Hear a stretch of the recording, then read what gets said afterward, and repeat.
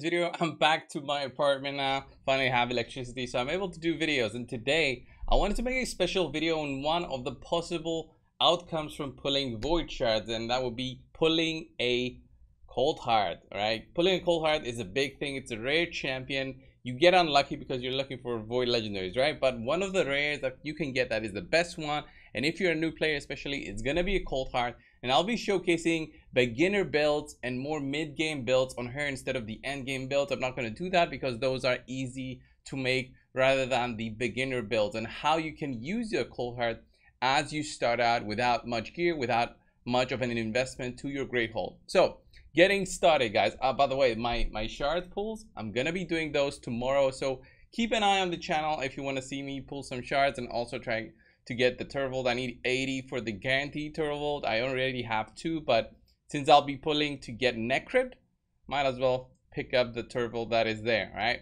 So getting started. So a great hall bonus um, to have a, a good one for a cold heart or any champion really is going for the accuracy tree. So it is recommended that if you pick up a cold heart to start investing a little bit into the accuracy tree right here, the accuracy bonus from the Great Hall. It really depends on how difficult that is going to be for you. If you're farming in Gold Arena, then that is a little bit easier to at least get the couple of couple of levels in just to get maybe to the plus 20 plus 30 accuracy is still very solid and that will help you a lot developing um, your cold heart right so let me just show you. I do have three cold hearts built out already, but the one I stripped down from all her gear just for this showcase. So right now I do have a cold heart that is built more for the end game. Look at the, those stats overall, 77% crit rate, 264 crit damage with no real focus on her attack or her speed all right her speed is very low 176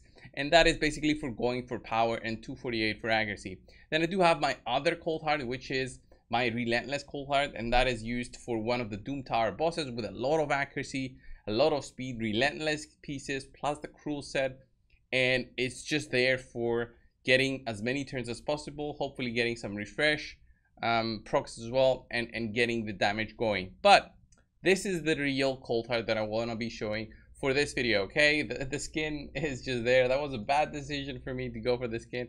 That took a lot of uh, a lot of fight to get it. But you'll see that I don't have any rings, amulets, and banner. That's the, the straight thing that you see immediately when I'm showcasing this one right now. So um, that is not recommended, but I'm doing this because of my Great Hall bonuses. I do get a lot of both health, defense. Look at that, 2,000 uh, health, two 275 attack 148 defense of course this would have been higher if i had rings amulets and banners already equipped crit damage i get resistance and more most importantly i get accuracy right here so all of these i would have gotten from i would say my ring amulet and banner that's why i have nothing of that equipped so my recommendation starting out with your cold heart is to check on if you've got any perception and speed gear available that offer both critical rate and critical damage that's your beginner point of where you want to be building your cold heart. Cold, cold heart benefits a lot from accuracy because she does apply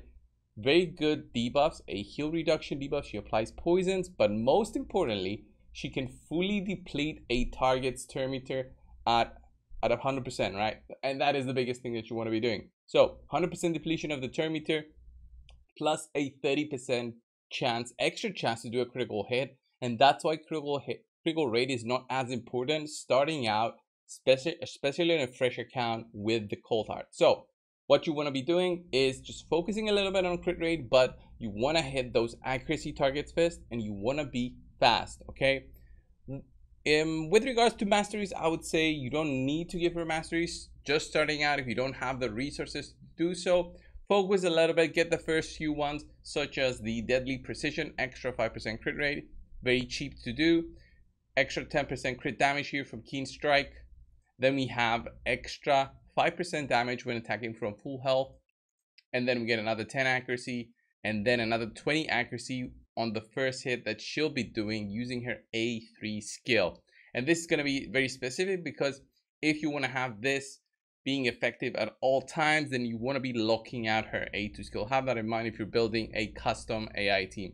And then everything else, it all depends on how deep you want to go into the cold heart. She doesn't really need to go uh, into the full masteries and that's why I don't have on all of them full masters you just farm to get the tier 6 one and you want to be going for either helm smasher or you want to be going for flawless execution. So both are very important. Flawless execution is more for if you're having issues with getting a lot of critical damage and you want to be consistent. If that's what you want to have then flawless execution it is the way to go with. Helm smasher is more for that random chance of you to ignore extra little bit of defense and get that extra damage um, possible through a build that you want to be running. So I do have Helm Smasher from my previous build. I'm going to keep that in. But let me show you the gear. The gear is what is very important. So for the Cold Heart, overall, I went for a 190 plus speed. That's your goal, okay? You don't care about the damage. If you're just starting to build your Cold Heart, you don't care about the damage as much. You want her to be fast in order for her to rotate through her A3 skill. You want her to be tanky a little bit in terms of health. You see that she has 39,000 health. That is because you don't want your cold heart to be dying unless you're running a reviver team for any area that you'll be using your cold heart in.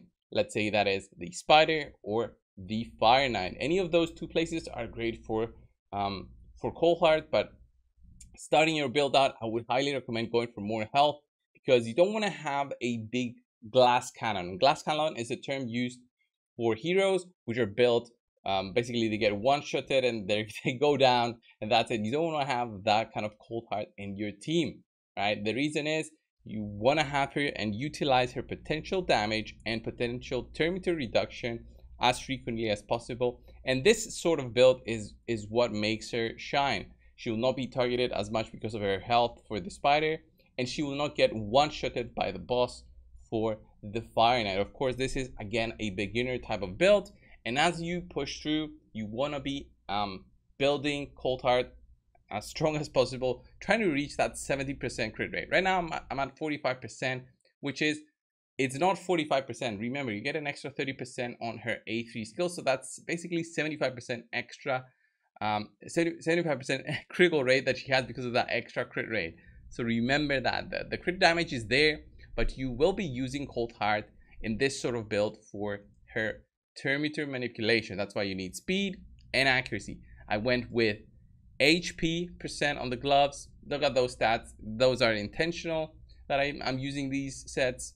Look at that, HP percent on the chest piece. You want to get HP percent or HP flat, whatever you have, as long as you try to get those stats um, going for the cold heart. And because I use perception gear, which is on purpose. This gear is farmed through doing the faction wars, getting the crafting materials, and then going ahead and uh, crafting these items. That's the way you move forward, and that's what you need to be focusing on when you're building your cold heart perception, speed gear.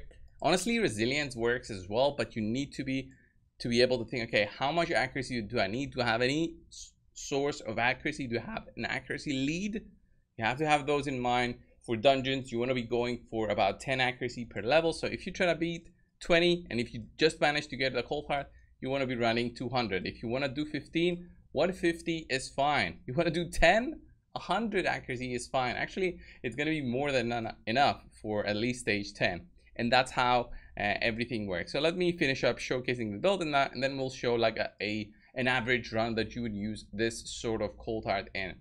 And honestly, the, the pieces that I have, although some of them are legendaries and epics, um, six star and five star, look at the stats, you know, speed, accuracy there. That's what you want to be going for. Some of them do have some crit rate, some accuracy, but these are not crazy items in, in the sense of doing this showcase. So have that in mind. Speed boots are a requirement, no question about it. And that's um, that's pretty much it. So let's run it and let's see how you would use uh, this sort of cold heart. So what are we doing here? We have a team built. It's It does have some strong epics in there, such as Miscreated Monster and Tayrel. Both are very good for what we're trying to do, beat the Spider 20. But here our focus is going to be the Cold Heart build. Um, we can do the decreased accuracy here with Art of Pain, but remember the masteries are not going to be that beneficial with this one. Um, let this be the, the Heartseeker uh, focus right there. We've got Armiger there, which is an amazing champion to have. Uh, Miscreated Monster, Big Shield. This will enable you to survive without a reviver. um, we want to have an opener there with the defense down. I'm going to have High Khatun always be boosting with her speed. So let's have a look at this one. So um, the idea here is what? Keeping Cold Heart alive, keeping Cold, Cold Heart be useful with the turn meter reduction.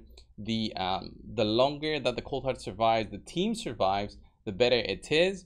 And once you understand that you need to be establishing control, at least for the spider, using that build, using high speed and then high accuracy in order to never get resisted, then your team will be uh, basically okay. And then you focus on the remaining of the stats.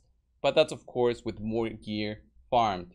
And then you work on the slow upgrades to get your Cold going a little bit better than what she was before. Okay, try to get her to that 100% crit rate chance on her A3 skill, which just needs her to be at 70% crit from the gear.